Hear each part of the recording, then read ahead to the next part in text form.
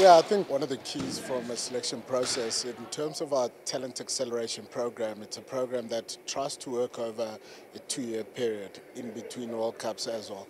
And uh, the process is we followed some of these young men for for a while. Uh, guy like Matthew Montgomery has been in our TAP program for over three years, and uh, it's so you see these young men. They then hopefully go on to make.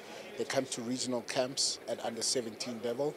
Then hopefully go on to make their provincial teams to come to national weeks. From national weeks, we obviously then go to our Cubs week, which is our six franchise teams, and uh, those six franchise teams then uh, hopefully compete at a very good level and then they get selected for this team. So that's a process, it's, it's quite an in depth process, and uh, hopefully we don't miss uh, too many talented players.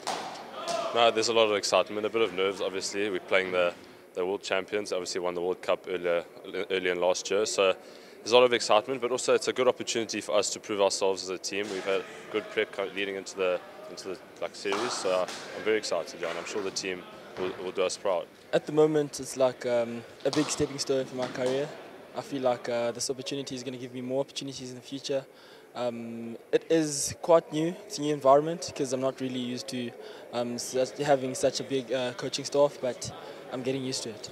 So what we've done is uh, the team got picked on the 7th of January, and in between, uh, as a coaching staff, we've travelled around the country. We've spent a bit of time with them while some were at school, some at varsity.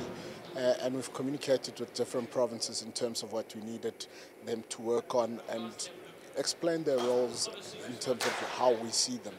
And uh, arriving at camp was just to make sure that as a unit we all understand our roles, we understand our purpose, and to just check up on what we've worked on over the last month if, uh, if it's come through. It's been tough, uh, hasn't been ideal given the weather uh, in terms of a lot of rain around but uh, I think the young men have got through what they needed to. There's a lot of a lot of satisfaction. I'm, I'm sure everyone in this team is super happy. It was a long process. Started at Coke Week about two three months ago, and it was six weeks of intense cricket, straight from Coke Week to Cubs Week, and then played in similar conditions. So it was nice for the team, and I'm sure all the boys are very excited. Yeah.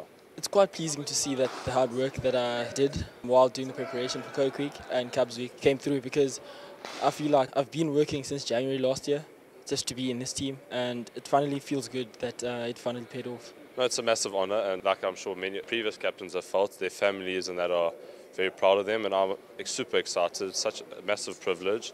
Didn't expect it at first, but super, super big honour, and I'm excited to lead the team. I'm quite excited to go to India to the subcontinent conditions because I feel like they'll be more friendlier to me and to my bowling partner Gaudi. I feel like I'm going to sponge a lot from him, and I think we're going to do well as a bowling pair there in India. And it's quite exciting to have a guy like him as a senior spinner in the team. Yeah. I think ultimately, with, with any developmental structure, the success comes in at the end of the day, it comes in a couple of years later. You know, if we go back two years to this date, Lutho Sipamla and Wiaan Mulder were, were sitting where these boys are. So if this program keeps producing cricketers for the pro Proteas, for our franchises, for our senior provincial cricketers. It is crucial that we keep producing quality cricketers that hopefully can go on to play for the country.